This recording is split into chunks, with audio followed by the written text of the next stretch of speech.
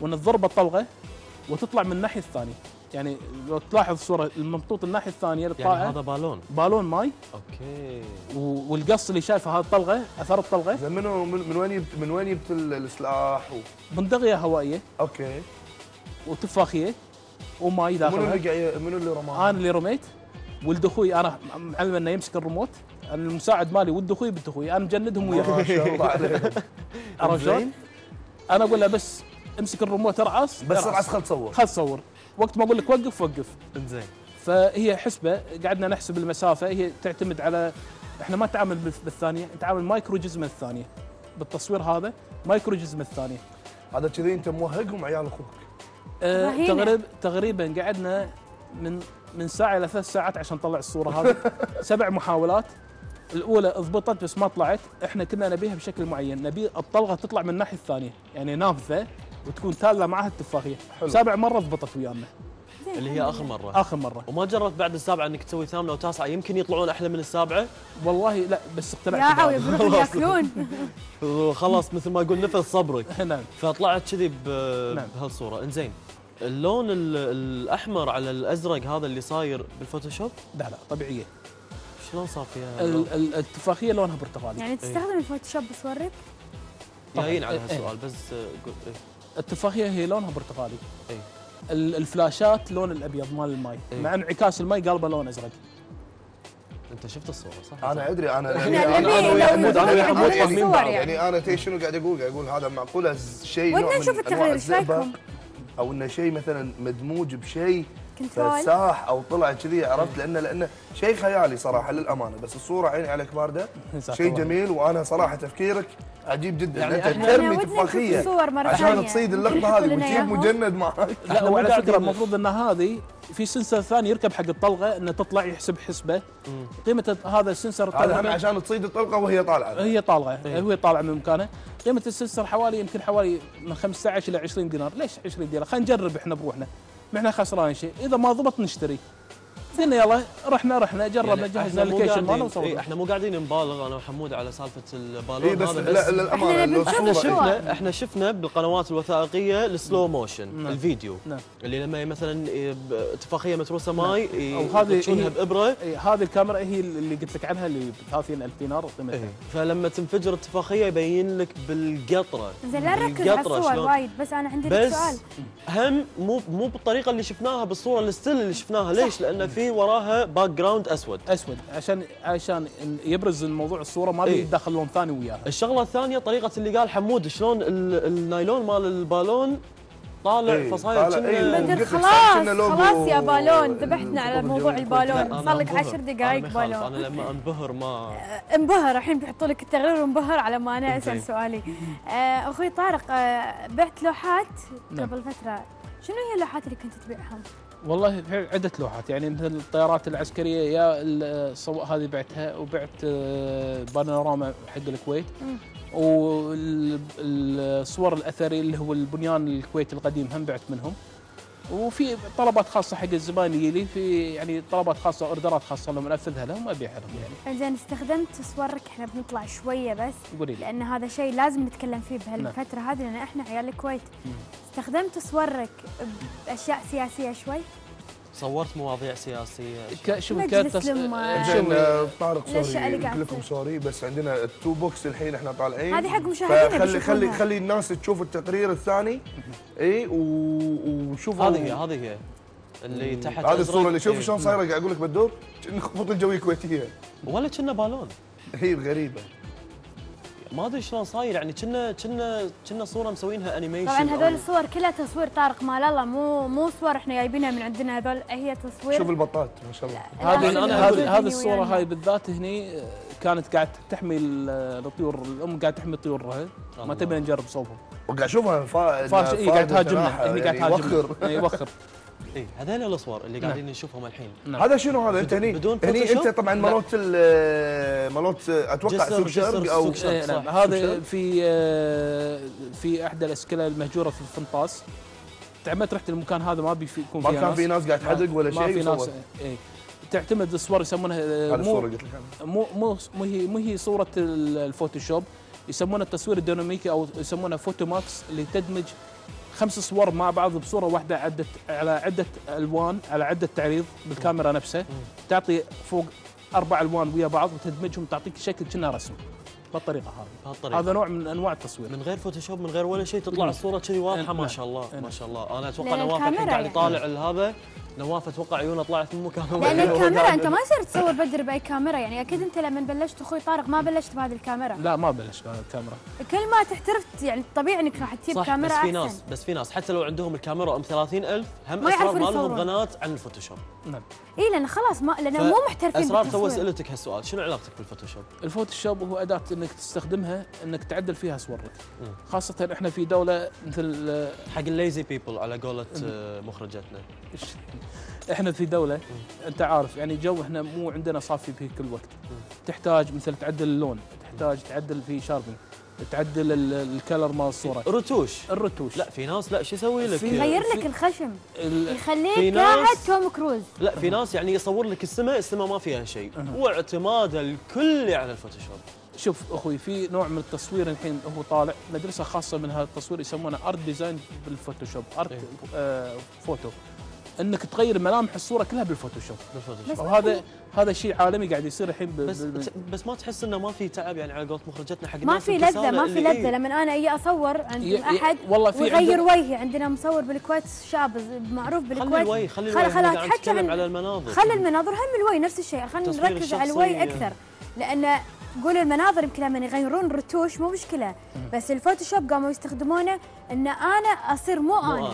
أنا. أنا مو أنا يعني أنا مو مو عيوني مو خشمي مو شفايفي مو خدودي مو مو حتى شعري يعني. أنا أنا ما أنا واحد باخذ دورتين بالفوتوشوب أغير الملامح كلها أغير الواحد أخليه واحدة وواحده أخليه واحد. يعني نوع يعني من نوع مثل ما تقولين هو نوع من التغيير أو نوع من التعليم أو نوع من التجميل تبي تشويه. في ناس يقول لك أنا بالصورة يجيك يقول لك واحد أبيك تسوي شكلي مرعب. في ناس يقول لك لا واحد جملني. إيه. في واحد يقول لك لا عدل لي بس, بس هل. أنت طا- أخوي طارق مع مع استخدام الفوتوشوب مثلا إذا كان استخدام بشري يعني حق صور البنات أو الناس أو أكثر يعني على العموم هو يعني أكثر شريحة من الشباب أو البنات اللي يحبون ياخذون صورة تقول لك أنا أبي اصير كني star.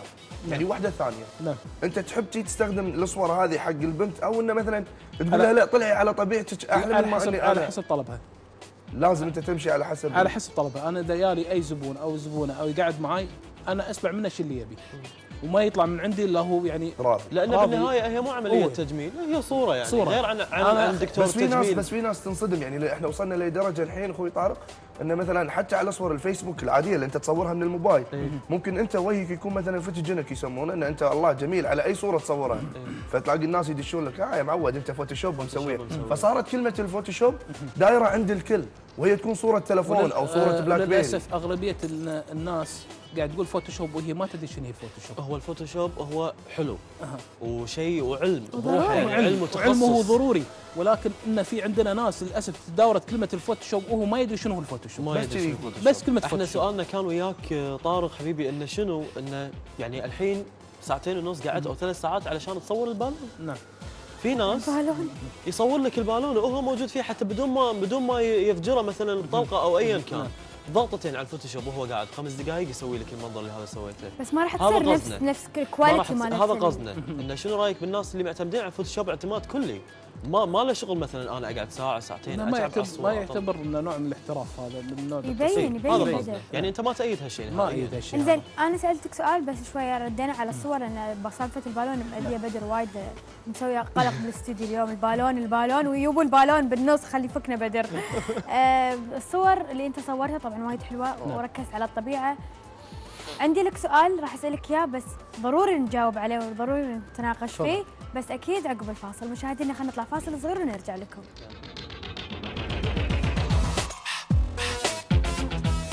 طبعا رجعنا من الفاصل بس كان في سؤال عند اسرار فأكيد اسرار تكمل السؤال مع بعض okay. آه طبعا بسألك سؤال وايد آه شوية يعني غير عن اللي إحنا قاعد نسولف عنه. آه صورت بداية سؤالي عشان أبي أدش بالموضوع يعني. عرفت؟ صورت آه باشياء سياسية. يعني دشيت مجلس لما صورت الأحداث السياسية اللي صارت قبل فترة بالكويت. تعرف آه طق مطاقق ما أدري شنو اللي صار عندنا. صورت وكذي؟ آه، شوف بالنسبة حق التصوير هذا التصوير الأشياء السياسية. طبعا أنا ما صورت كأني أنا ما أنتمي حق أحد ولا حق أي جريدة. ما تعنيني هالصور ولكن أنا كأني أنا بدوامي. اي مصور فوتوغرافي بالدوام. إيه. كلفتي عدة آه، أماكن إني صورت فيها ورحت صورت يعني صورت. غطيت غطيت. ولكن لما أكون أصور بهالمكان لا أنتمي حق أحد. يعني أنتمي حق يعني كدولتي حق ديرة الكويت. وطنيتك. وطنيتي. ولا أني أنتمي حق لاي فئة من كانت أو همك. الكويت. هم همي الكويت. ولا أني أكون مع ال- الظالم ولا أكون مع المظلوم. إن شاء الله ما في يكون أحد ظالم انت يعني. تتابع حق أي دائرة؟ دار الثالثة. الدائره الثالثة. الدائره الثالثة جميلة جدا. نعم. إيش رأيك بالدائرة الثالثة كنواب سابقين؟ نعم. شنو كانوا يعني. ش- شنو شنو رأيك فيهم اللي كانوا بالمجلس هم اللي طاف وشنو رأيك إن شاء الله الحين بالدائرة الثالثة شنو تتوقع؟ والله نواب الأمة الدائرة الثالثة اللي, اللي ينجحوا منهم يعني اللي شرفنا ومنهم اللي خذلنا ما أقول لك خذلنا خذلنا ولكن خيب؟ خيب خيب خيب. لا. والله أخوي. طارق خلينا خلينا نكون واقعيين يعني إحنا عندنا جاذرينج الشاهد يعني عندنا السقف مالنا عفوق فما يهمنا شيء. نعم. نبي نتحكى بالحق. لا تقول هم نوعا ما خذلونا لا في نواب صدق فشلونا. أنا أقول لك يا وأنا صغيرة وأقولها ما يهمني شيء. في نواب يفشلون يفشلون. يعني هذا لو قاعدين بالبر وقاعدين يأكلون بإيدهم ويمشون دش داش داشتهم في ناس ما كان لها داعي يكونون بالمجلس شوفي أختي أنا أقول لك شغلة. مو بالدائرة الثالثة. لا أنا. أحكيك عن كل الدوائر. أنا واحد من الناس لا أنتمي لأي فئة من الفئات الموجودة. إيه. إحنا كفي مجلس أمة. عدي لي كم تيار موجود. وايد. وايد. اللي حكومي غير حكومي حضري بدوي شيعي سني ديمقراطي غير ديمقراطي. كل واحد يا يخدم فئته المعينة. أنا واحد من الشعب ما قاعد أنتمي هذا. شنو فادني مجلس الأمة؟ بشكل عام من الدائره الثالثة. شنو فادني فيه؟ ما فادك بشيء. ما. فادني شيء. إذا كان أول شيء بعدين تسكر جهازك. إذا كان مجلس الأمة القادم يبي يصير يخدم كمواطن كويتي صالح يخدم كشعب الكويتي نفس 2 8 لما تكاتفنا ب 2 8 إيد واحدة إيد واحدة أقول أهلا وسهلا فيه.